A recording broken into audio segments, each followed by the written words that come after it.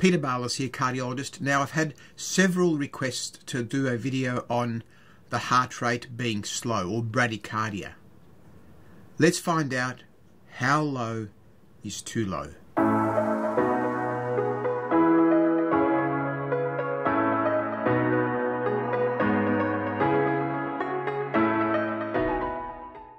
Now, the heart itself is an amazing organ, as we've witnessed uh, through many of our videos about how the heart functions and pumps. The heartbeat normally ranges between 60 to 100 beats per minute. Anything less than 60 beats per minute, we usually call bradycardia. And vice versa, anything more than 100 beats per minute with our pulse, that is referred to as tachycardia. Now, bradycardia is not always a worrying problem. So many people, young, fit, otherwise active people, can have heart rates that are less than 60 beats per minute, between 40 and 60 beats per minute. When we're sleeping, our heart rate is usually low, 40, 50 beats per minute. It does not mean there's something wrong. When bradycardia becomes a concern is when there are symptoms that can occur as a result of the heart not being able to efficiently pump blood and oxygen and nutrients to the rest of the body. The frequent symptoms that you may have if your heart is going too slow is you might feel lightheaded, you might feel giddy, dizzy, you might feel as though you're a bit wobbly on your feet or about to, to pass out, a condition known as pre-syncope. Or in some people, they have fainting, they have blackouts, they have syncope. So we always take it into the context of the patient and their condition, their symptoms, what medication they might be on, what other history they might have.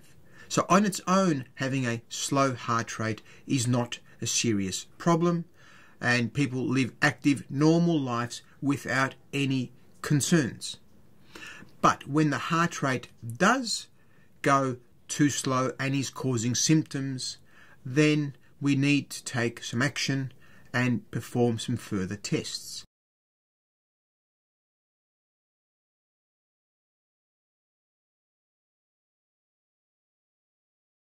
Now, to get a better idea about the heart rate and how it works, I want to just briefly go through how our wiring or electrical system of our heart functions. And I like to describe an analogy that we have a power station of our heart called the sinus node. And the sinus node essentially is our own natural pacemaker. It's a little collection of fibers and tissue that stimulates activity from the top parts of the heart called the atria. And that activity goes down through a channel of cables, I like to say, to a substation.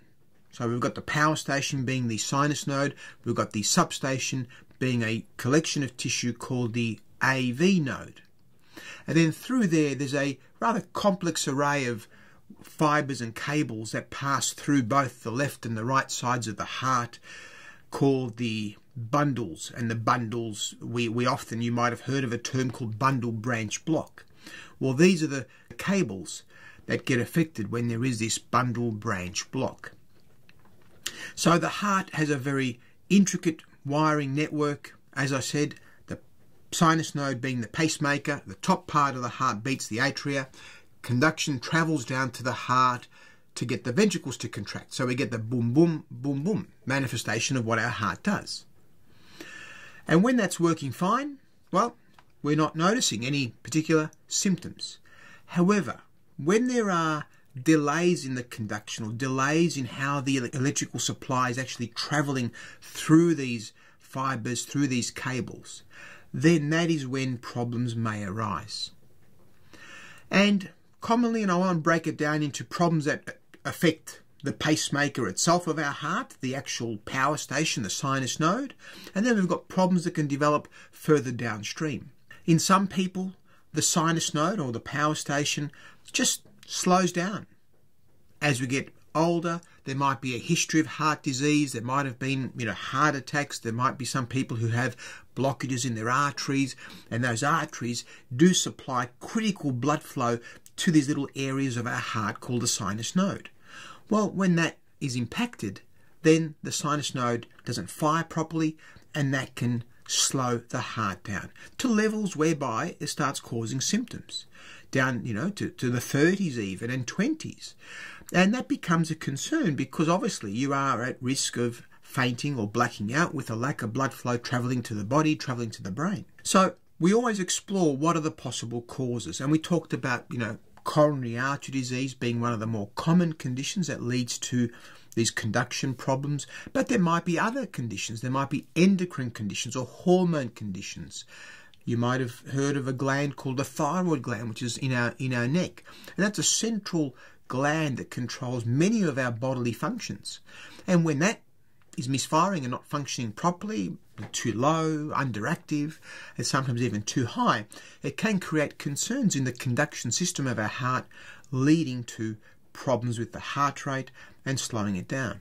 There might be other conditions that you might have been born with, congenital heart defects or holes in the heart or various conditions there that can actually impact the way that the electrical system is firing and working that can dramatically lower or slow down the heart rate. This can be seen in other conditions that affect the heart muscle itself.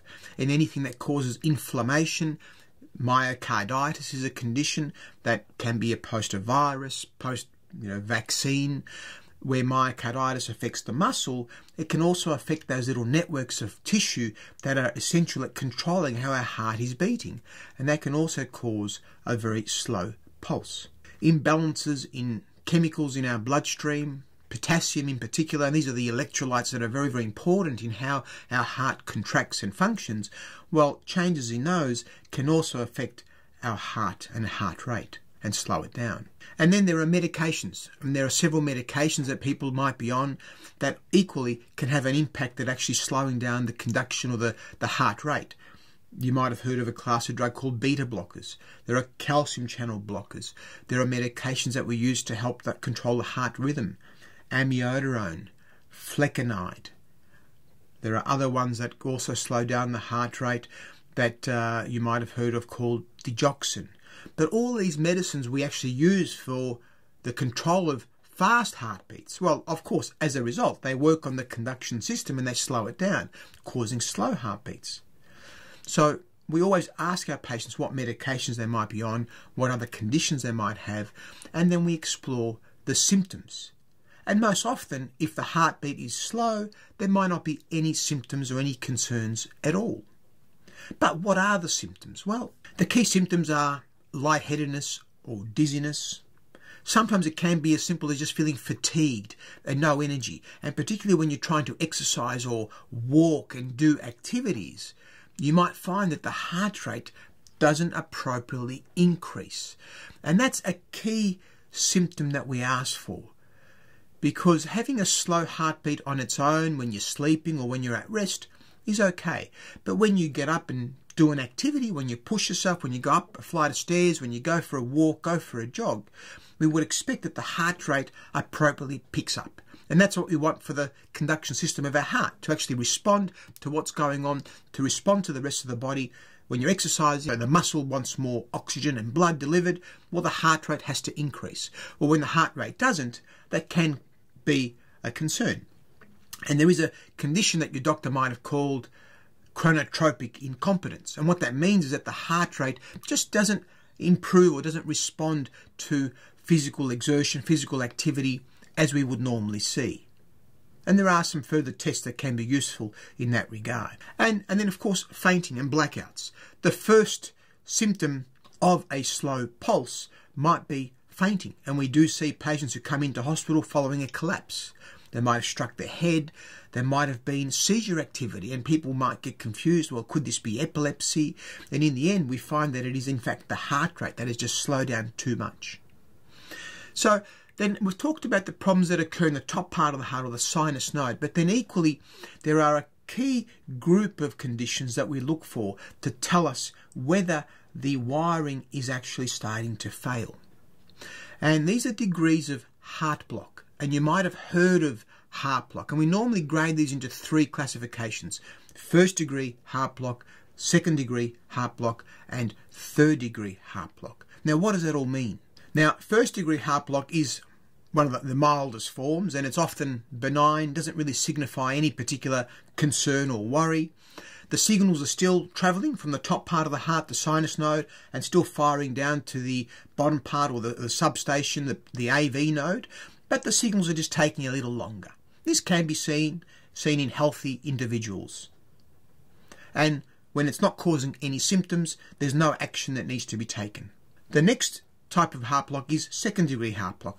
Now, as we start getting more into the second and third degree, well, then the problems start becoming a little bit more concerning because in second degree heart block, we're still getting signals coming from the top part of the heart to the bottom, but not all those signals are being transmitted appropriately and as quickly to the bottom part. So there might be some missed beats, some skipped beats. And again, there are different grades of second degree heart block. Not all of them are pathological. Not all of them need anything to be to be done apart from just some reassurance and monitoring. But there are various types whereby when the signals are not traveling to where they should, then the heart momentarily freezes and slows down. There's no beat for a few seconds and then no blood getting to the brain, therefore leading to symptoms. And then third degree heart block is obviously the uh, the one that we we are always looking out for, the one that we're more concerned about, because in third degree heart block, well, really there's no coordination in terms of the signals. The signals coming from the top part of the heart are not communicating appropriately to the signals at the bottom part of the heart, and that lack of coordination, the fact that not all the signals are travelling, means that the heart is skipping beats, is missing beats, is slowing down, and that does need to be corrected and treated. Now, what are the treatment options? Well, as I said, in many cases, having a slow heartbeat does not mean a thing, does not mean any concern whatsoever. There are some simple tests that can be done, including an electrocardiogram and ECG. We, we also consider popping a monitor on the heart just to see what the pattern of your heart rate is over a 24 hour period, or sometimes even a bit longer, a couple of days, seven days, even 30 day monitors. And in some individuals who might have blackouts and fainting, well, there can be a, a, case to consider placing a little implantable recorder. And we'll have a separate video on what those implantable recorders are and, and how they might be useful. So, in cases whereby the heart rate is slow and is causing these second and third degree heart blocks where there is a disconnect between the signals, well, then in those cases we need to address underlying causes. We often you know, perform some simple tests, including an ultrasound of the heart, and that gives us an idea about how the heart is pumping and functioning, how the valves are performing. But then we start looking at, well, what are the underlying causes? Now, are there any hormonal changes, any thyroid problems? Are there any concerns with the electrolytes, the potassium levels in our body? And are you on any medication that might be contributing that we may need to stop? But if the answer is no to all of those, then we're just left with essentially the wiring just slowing down, um, you know, through natural causes. Well, then we often need to act. And the treatment for a slow heart rate that is causing symptoms is obviously speeding it up. There's no simple medication that unfortunately we can use to put patients on to do that. And the treatment is often by using these devices called pacemakers. So the pacemakers themselves are external devices that are placed under the skin and they, through a connection through often two leads that go into the heart, they can monitor and they can help the pumping and the contraction of the heart by ensuring that they stimulate electrical activity to make sure that you know we're not slowing down too much. So you know that video was just a bit of an overview of the heart rate. As I said, it's not always a problem the concern can sometimes be that when you are a bit slow but you're not improving with exercise and that can cause symptoms, can cause fatigue, can cause shortness of breath. And as we talked about chronotropic incompetence when the heart rate is not picking up as it should. But then we look for various types of these heart blocks, this sort of disconnect between the top part of the heart and the bottom part of the heart, in the end may sometimes need to be managed with these pacemaker devices.